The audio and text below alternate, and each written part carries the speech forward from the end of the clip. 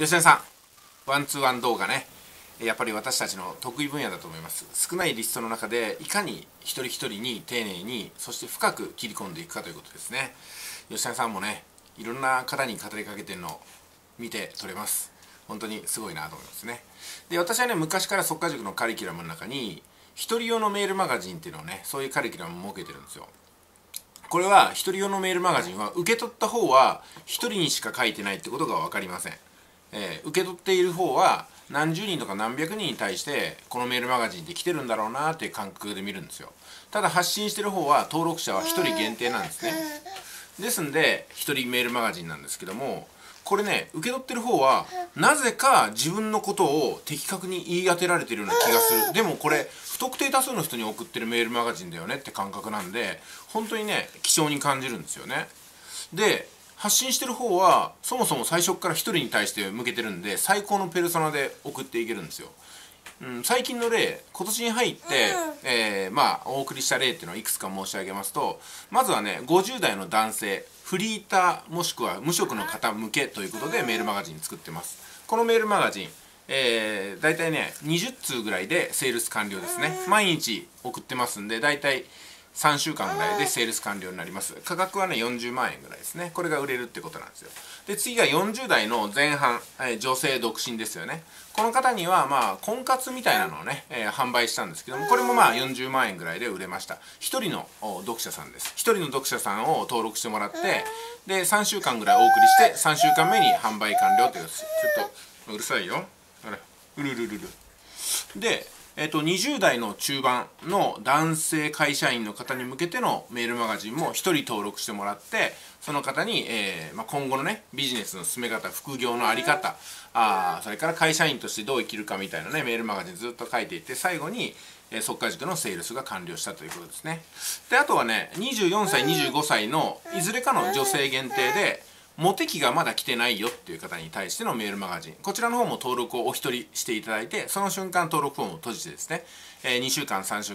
ずっと記事を送り続けて、まあ、最後にねモテるためのコツみたいなで まあぶっちゃけ言うとね40代ぐらいの男性を狙った方がいいよとか30代中盤から後半の男性にピンポイントでいくといいよっていうようなね そんなオチになってるんですけどもこういうふうにね1人に対してのメールとか1人に対してのセールスだとものすごくねポイントを絞って売り込んでいけるんで商品って作りやすいんですよね。で受け取ってる方も100%自分に対して向かってくるんで商品を受け取りやすかったり日々の情報発信がしっくりくるという感じです まあそんな感じでね、あの、私もワンツーワンを、まあ、こっそりとやってるんですよ。まあ、楽しいんですよね、こういうのね。誰か一人のために何かをやると。で、この一人が、まあ、セールス完了とかね、満足度が高くなってセールスが完了する。要するに満足度が高ければ商品が売れるんですよ。だから商品を売った時が一つの満足度がパーフェクトになった時です。あとは商品を使い込んでいくためのサポートをお願いされるようなね、そんな関係を続けていけるかどうかなんで、まあ、定期的に連絡をするという形でございます。ちなみに、えー、最初じゃない、最後にね、紹介した24歳、25歳の女性モテ期の方、えー、最近お付き合いが始まったみたいなんで、うまくいけばいいなって感じですよね。ん？お前なんでこうねわわ言ってんだ？ん？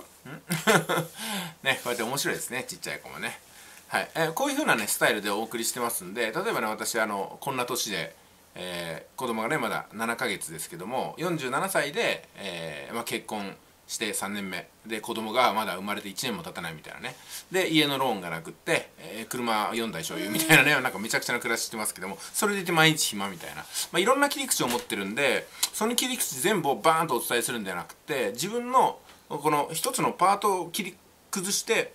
でこの切り分けるんですよね。自分の小さなところ。40代ですよってところを切り分けてで、えー、40代の、まあ、婚活とかにこうね、シュートしていくとかあとビジネスってものに切り込んでいくとか FX に限定していくとかっていうのでまあメールマガジンとかって無無無限にできるんですよね。無限にできるんだけどもあの要するに1万人の登録者がいても私から受け取りたい情報って1万人の方が毎日満足してるわけじゃないんですよ。今日は100人とか明日は50人みたいな感じなんですよ。で私はテーマをずっと変えながらやってるんであの登録してる方にとってみたら9割は興味のないことかもしれませんけども残りの1割は自分のことを言い合っててるっていう形なんでだからまああのタイトルで選んでいただける。そしてタイトルをしっかり私もつけていかない。どうしたどうしたんだ？なんかねわわ言ってますね。よしよしよしよし。かわいいでしょ？えー、すみません。あの子供と一緒にねこうやって撮影できるのも YouTube のいいところかなと思いますけどね、えー、ということでね何が言いたいかっていうとあの一人のために